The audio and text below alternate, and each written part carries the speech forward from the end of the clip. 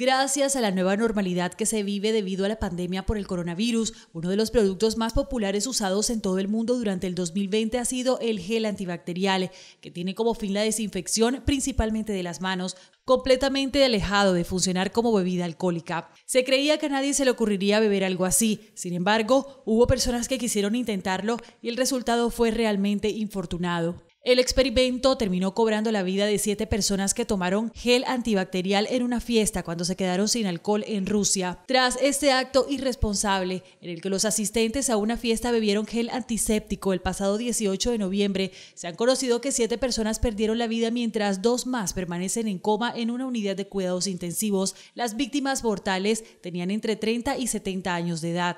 Aunque el caso pueda parecer realmente extraño, no es aislado. Desde hace ya varios años, personas expertas han hecho la advertencia del consumo de este tipo de geles, considerado como una moda, sobre todo en personas jóvenes que se atreven a consumirlo con fines recreativos para emborracharse mucho más rápido. En países como Estados Unidos, Reino Unido o Suecia ya se reportan casos de fallecimientos por casos como estos.